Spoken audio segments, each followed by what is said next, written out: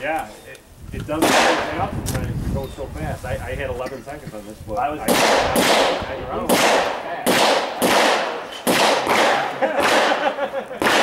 I was working on his draws up, IDPA stuff on there, what USPSA style and on, so it definitely slows down.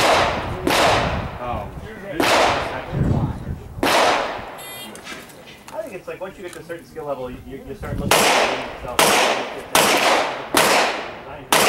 You guys went to Bob Vogel's Yeah. class. Would you recommend it? Um, Somebody talked to video. Oh, it was, um, I rented the videos online, you can rent them online. uh, Robert Wendell. Wendell? Oh, Robert Wendell? Wendell. Wendell, I gotta say, I, I was fun just going down there shooting with him. Like, asking techniques on that. We didn't cover anything super advanced, so I would